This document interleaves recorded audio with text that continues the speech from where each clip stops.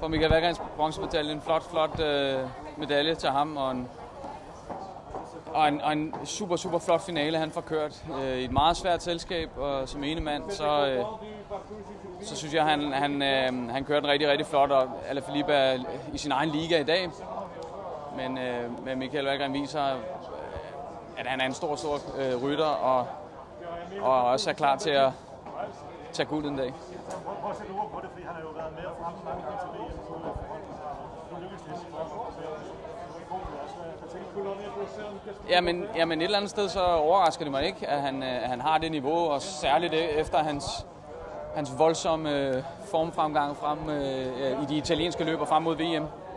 Så, øh, så, jeg, så jeg havde da klart øh, en, en forhåbning om, at han ville være blandt de absolut bedste i dag, og, og det viser han også. Han er, han er virkelig på toppen, og, øh, og så er det, når han har de ben, så synes jeg også tit, han er enormt dygtig til at køre det taktiske spil, øh, og lade franskmændene, italienerne, hollænderne øh, ligesom køre det spil mod hinanden og, og bruge sig selv lidt op. Han sidder som sidste mand, og altså, det, øh, det er ikke nemt at være så cool, som han er i en VM-finale.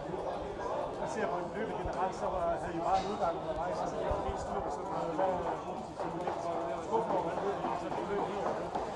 Ja, jeg synes, øh, jeg synes godt nok, vi, øh, vi rammer en, en del styrt øh, fra, øh, fra flere sider, og Ja, Mads, Mads B. han starter inden øh, første gang ude i Flandern, hvor han har en, et styrt, og, og, og, og det tager lang tid at, at, at få ham tilbage.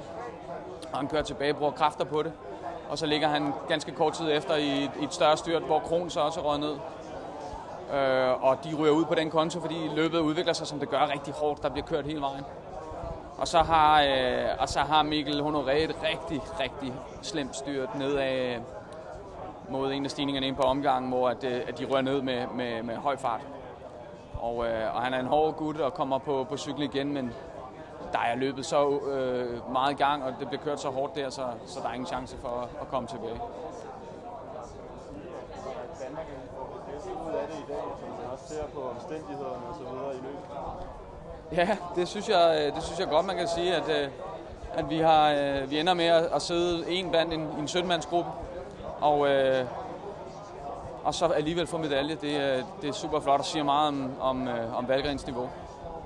Kan du sætte nogle også på øh, altså følelserne, der går igennem dig nu? Nu har du meget om Valgren, og hvad, hvad føler du selv? ja, jeg er, jeg er meget glad øh, for, øh, for den medalje. Ovenpå et, øh, et, et, et, et super svært cykelløb, øh, set med danske øjne. Og, øh, og øh, og det, øh, så, så jeg, er, jeg er glad og lettet over, at vi, vi slutter med en medalje, fordi det er, hvis man ser på det her felt, så er det en, øh, en virkelig flot præstation.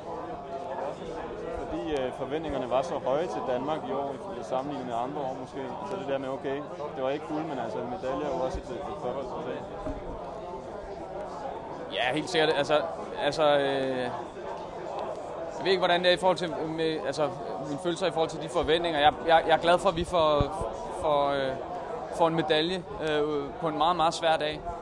Øh, og jeg er, er meget, meget glad for at se øh, Michael Valgren øh, køre så smuk en finale, som han gjorde. Øh, så ja. Anders, med 58 km til mål, der øh, ligger den brostinsbakke, hvor Alaphilippe han ender med at sætte sit første angreb ind.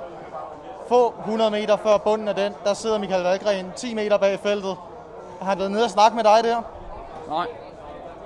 Jeg ved ikke, hvad der er sket. Øhm, men, øh, men i så kaotiske løb, så, øh, så, så er der sket meget, som jeg, som jeg ikke er klar over. Øh, vi har i hvert fald ikke snakket med ham der. Øh, og han ved godt, at han ikke skal gå ned og snakke med bilen øh, så tæt på, øh, på et afgørende øjeblik i cykelløbet. Ja, for det virker som om, at han har benene, men han starter den stigning helt nede bag i og, og, og kommer ikke med. Askren fører så for ham bagefter. Hvad tænker du om de kræfter, som, som Valgren må bruge på at lukke det hul til, til den gruppe? For han lukker det jo alene efterfølgende op til de øh, 17 mand, eller 16 mand, som ender med at afgøre det. Ja, ja men, det, men det er... Det, det, det kommer så jo af, at vi har, vi har kørt et cykelløb, hvor vi har, har blødt folk hele tiden, og øh, i, i styrt og, og andet øh, modgang. Så, øh, så, øh, så han, øh, og så, ja, jeg ved, ikke, jeg ved faktisk ikke, hvad der skete i den konkrete situation. Det er selvfølgelig ikke optimalt. Men, øh, men det, jeg hæfter mig ved, det er, at, øh, at, øh, at Kasper Askren, han, øh, han offrer sig fuldstændig for, at, øh, at vi har en mand i den finale.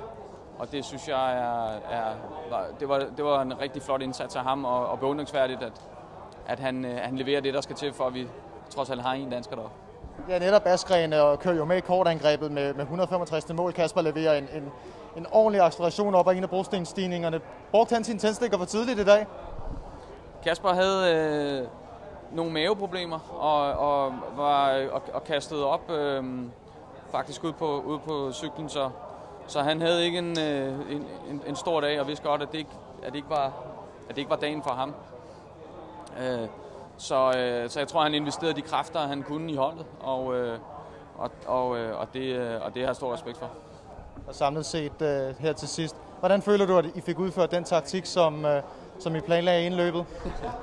det, det blev øh, et noget, øh, noget anderledes løb. Vi havde håbet på et hårdt løb, og det, og det må man sige, vi fik. Øhm, men, øh, men også så øh, kaotisk et løb, og, og, og jeg synes, vi tog en stor portion af, af vores uheld og mistede virkelig stærke folk på, øh, på, øh, på den styrtkonto der, så, så, øh, så nej, vi fik ikke, vi fik ikke foldet det ud, som, som vi, vi ville, øh, men, men heldigvis så, øh, så var Valgren i, i så god forfatning, at han kunne øh, give, skaffe en medalje til, til os alle sammen.